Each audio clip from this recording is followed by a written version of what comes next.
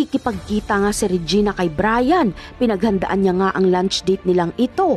Si Ali pa nga ang nagsuot sa kanya ng kanyang sandals habang sinasabi kay Regina na sigurado ba daw itong si Regina na itutuloy nito ang pakikipag-date kay Brian kahit alam naman itong si Narda ang mahal ng binata. Agad namang nagalit si Regina sa sinabi sa kanya ni Ali kaya pinalabas niya ang kanyang ahas at akmang tutuklawin si Ali.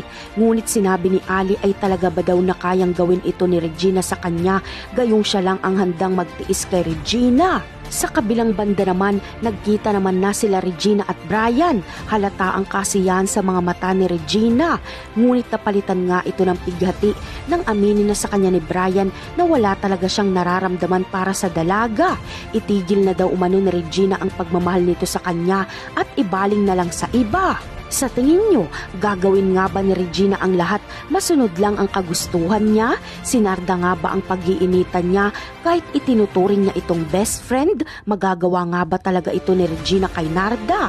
Yan ang aabangan natin sa mga susunod na episode.